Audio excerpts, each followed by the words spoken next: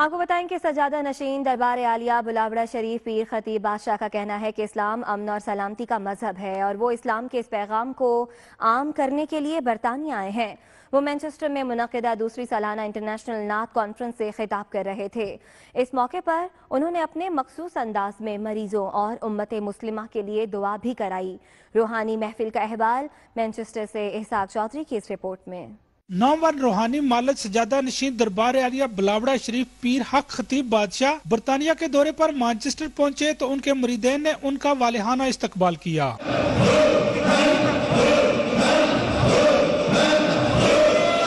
اپنی آمد کے فوراً بعد انہوں نے دوسری سالانہ انٹرنیشنل نعت کانفرنس میں شرکت کی، جس میں پاکستان اور برطانیہ کے نامور نعت خواہ اور علماء نے شرکت کی اور نذرانہ عقیدت بحضور سرور کونین پیش کیا۔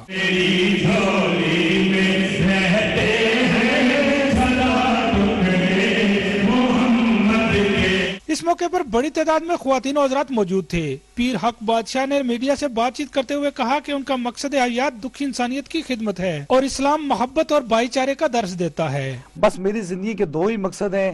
ایک تو حضور کا میلاد بنانا اور دوسرا مخلوق خدا کی خدمت کرنا۔ جہاں بھی جاتے ہیں حضور کی محبت میں جاتے ہیں اور مخلوق خدا کی خدمت میں جاتے ہیں۔ دین سارا محبت کا حضور نے پوری کائنات کے اندر یہ دین دین جو پھیلایا ہے، یہ صرف محبت سے۔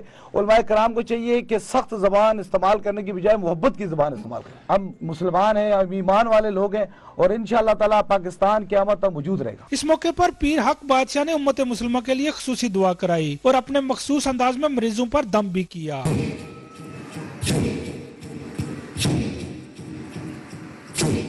پیس امن محفل میں آپ یہاں تشریف لائے۔ آپ کا بہت شکریہ۔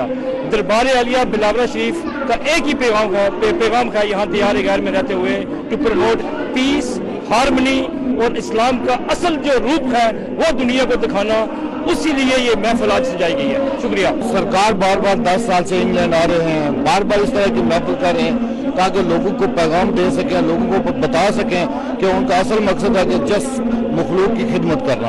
اور پاکستان میں بھی وہ مخلوق کی خدمت کر رہے ہیں، یہاں بھی جب آتے ہیں، آج اکثر مخلوق کی خدمت کرتے ہیں۔ شرکا کا کہنا تھا کہ ایسی محافل دنیا میں پیار و امن کا پیغام پھیلانے کے لیے سجائی جاتی ہے۔ اسحاق چودھری، دنیا نیوز، مانچسٹر۔